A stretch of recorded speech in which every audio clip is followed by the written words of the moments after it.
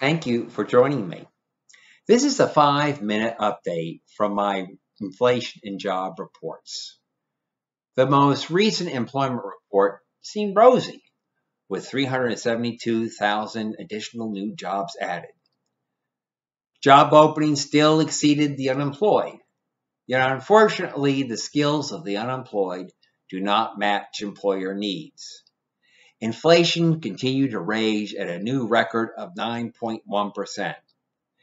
The key takeaway here is that while wages grew, they grew slower than inflation.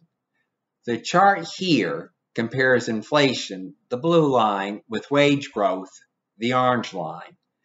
The gap between the two lines continues to widen. And the gray line on the chart shows that the inflation adjusted wage growth is more and more negative. So despite the strong economy, workers on average are losing more and more purchasing power. There is an encouraging sign on the inflation front. Both crude oil prices and gasoline prices have recently begun to drop. Here we see a chart of the oil price drop. This should reduce inflationary pressures during the month of July 2022. However, supply chain issues still are unresolved. Pent up demand cannot be met. For example, after being cooped up for a long time, many are willing to pay record high plane ticket prices and still suffer cancellation and delays as there are not enough pilots and others to staff the planes. Despite all the new job opportunities and the strong economy, Consumer confidence is sharply dropping as seen by this chart.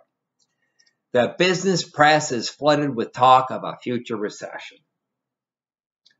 Certainly the Fed has no excuse to ease with both the hot jobs and the hot inflation reports. To date, Fed Chairman Jerome Powell's stock's tough.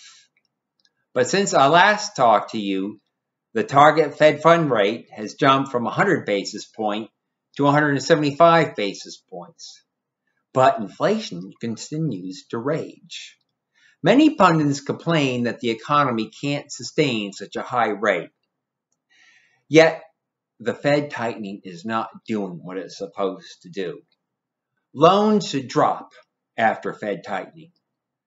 But credit card loans are at an all time high as many folks are trying to satisfy a lot of pent up demand. We still have 25 million prime age working folk who are not gainfully employed. It is necessary for them to get into the workforce if our supply side issues are to be resolved. They need better skills that do not require a college education.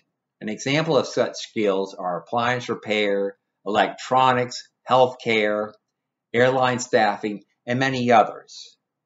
Many of you ask me, how can these unemployed support themselves? Perhaps some are earning cash in the underground economy, such as narcotic drugs, gambling, theft, and prostitution, and the underground economy can't be measured. So we don't, we can't measure this. Maybe others are still living in their parents' basement.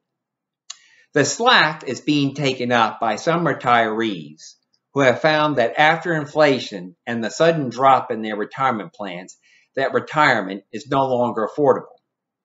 But this is not a sustainable solution. Many of you tell me that we need to pay our workers more, and I completely agree. Many employees, such as financial sector, have seen generous pay increases because employers can pass on the additional costs to their customers. But this is not true of every business.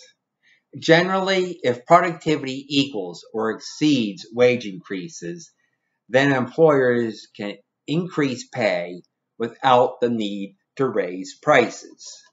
But this last chart shows that productivity is far below current wage increases.